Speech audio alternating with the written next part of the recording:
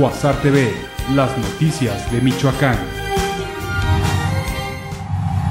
Derivado de los problemas de inseguridad que se registran en Michoacán, durante el último cuatrimestre del 2013, la deserción de instructores de la CONAFE se incrementó un 300% al pasar de 200 al año a 689 en cuatro meses, reconoció el delegado de esa institución, Alfredo Martínez Corona.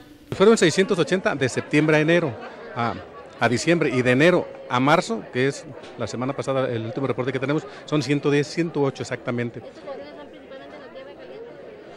No, son en todo el estado, más sin embargo se han focalizado en el municipio de Buenavista, de Apatzingán y de Tepalcatepec. El delegado de la Comisión Nacional de Fomento Educativo Estatal dijo que en el 90% de los casos son los padres de familia quienes se oponen a que sus hijos regresen a zonas de alto riesgo, principalmente a la tierra caliente del estado, lo que impacta de sobremanera al programa.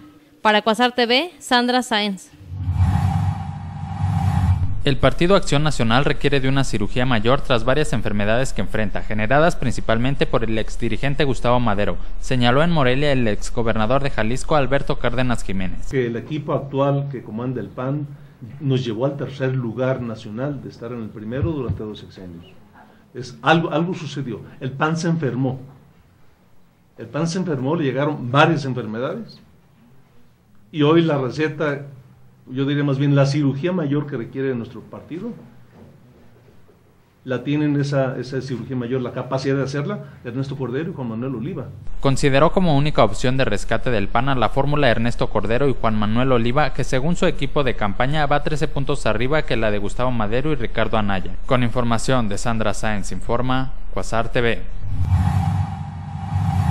Como parte de la estrategia para la producción del maíz amarillo en México 2020, se tendrán disponibles 155 millones de pesos para 6.000 productores michoacanos, anunció el delegado de la Zagarpa en Michoacán, Pedro Luis Benítez. Este nuevo programa eh, beneficia a 6.000 productores de Michoacán y nosotros estamos animándolos porque siempre le apuestan al maíz blanco eh, existe el mito de que el maíz amarillo tiene plagas porque es dulce, da menos producción, etcétera. El anuncio lo hizo durante la primera Asamblea Nacional de la Cadena Productiva e Industrial del Maíz Amarillo, donde destacó los beneficios de este cultivo que tendrá un precio de garantía. Para Cuasar TV, Andrea Fernández. Daniel Luis Arriaga, presidente del sistema Producto Trigo en Michoacán, exhorta a los productores del estado a que cambien sus cultivos de maíz blanco por amarillo para que puedan comercializar mejor su producción.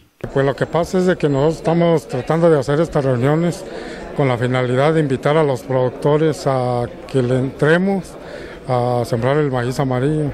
El precio del maíz se cotiza en la Bolsa de Chicago, el cual hace cuatro años tenía el precio en el mercado de 4.900, pero ahora su precio ha tenido una disminución del 50%. Para Cuasar TV, Andrea Fernández. La cocina que cuenta una historia es un evento donde las cocineras tradicionales hacen una representación de la costumbre o tradición que gira en torno a los alimentos. El evento se llevará a cabo el 4, 5 y 6 de abril a partir de las 11 de la mañana en los jardines del Centro de Convenciones. Eh, quisimos hacer ahora con el marco de la cuaresma este decimoprimer encuentro de cocina tradicional.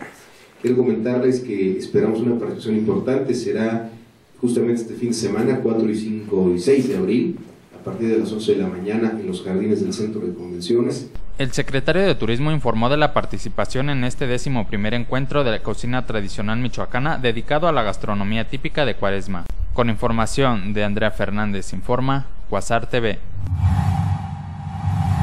A unos días del inicio de Semana Santa, el secretario de Turismo Municipal, Enrique Rivera Ruiz, comentó que en Morelia se esperan cerca de 22 mil turistas, una ocupación hotelera del 60% y una derrama económica de 100 millones de pesos. La derrama económica, se espera una derrama económica para Morelia cercana a los 100 millones de pesos. Nosotros el número de visitantes estamos estimando que pudiéramos tener a lo largo de toda la semana alrededor de unos 22 mil visitantes. Rivera Ruiz mencionó que durante la visita a los siete templos en Morelia se ha registrado una afluencia superior a los 45 mil ciudadanos. Con información de Felipe Bárcenas informa Cuasar TV.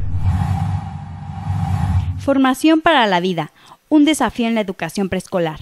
Es el nombre del 34 Foro Nacional de Educación Preescolar que anunció Fidel Ramos Zalapa, director de la Escuela Normal para Educadoras, y que tendrá lugar en el Teatro José María Morelos y Pavón los días 9, 10 y 11 de abril del año en curso.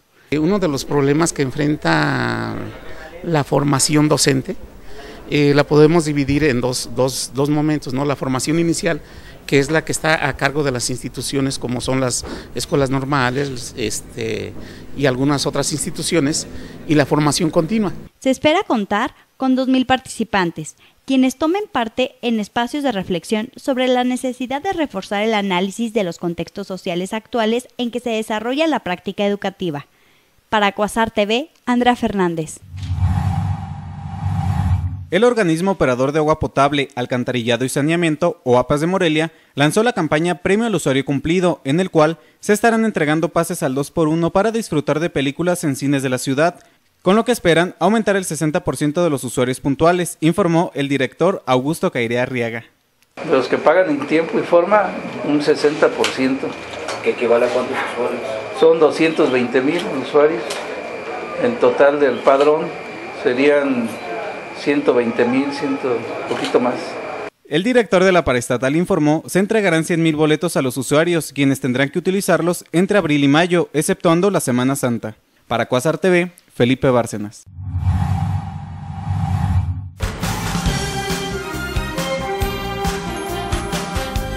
Cuasar TV, las noticias de Michoacán.